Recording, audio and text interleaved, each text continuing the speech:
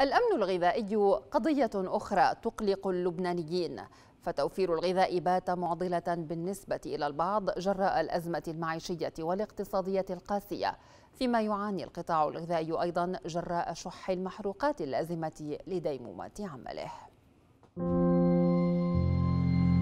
بيقطع أيام ما معنا حق ربطة خبز؟ بيقطع أيام ما بنقدر ندبر أكل. يعني يعني عم بحكي عم بيطلع الحكي من من جسمي كله هيك على التعصيب. شو بتحس بقلبي؟ أنا اوقات بيحترق قلبي. بس واحد بس يموت بيرتاح. بس وين هدول لمين بدك تركيهم حسرة بول على أولاده هي حسرة كل لبناني يصارع كل يوم لتأمين قوته اليومي. الأمن الغذائي هم جديد يضاف إلى هموم اللبنانيين فأزمة المشتقات النفطية وتفاقم انهيار الليرة ساهما في ضرب الأمن الغذائي وتعريض سلامة الغذاء للخطر بسبب شح المحروقات وصعوبة التبريد والتخزين إضافة إلى التضخم في أسعار المواد الغذائية. هي صارت مسألة حياة أو موت. طبعا نحن ما عم نحكي هون عن موت المواطن عم نحكي عن موت قطاع. وموت قطاع بيتأتى عليه موت وطن. يعني هي الكارثة كبيرة. يعني إذا مثلا توقفوا الحاملات بمرفق بيروت آه، نتيجة انقطاع الكهرباء.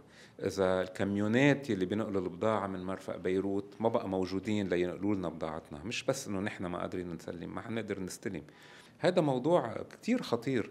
وهيدا يعني هون فعلا الوطن كله صار مهدد بالوقوف من وراء هالأزمة.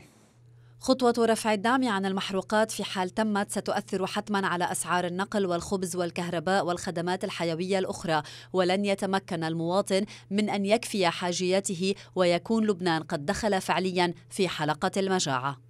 وأمام أعاصير أزمات الغذاء والدواء والمحروقات والفقر تزداد معالم التفلت والفوضى الأمنية المقلقة مع إحراق محطات محروقات وظهور عصابات مسلحة في الشوارع في ظاهرة خطيرة تنذر بالأسوأ. كل ذلك وسط دوران العقد السياسية في حلقة مفرغة واستمرار تناتش الحصص في الملف الحكومي. من بيروت جوانا نصر الدين رؤيا.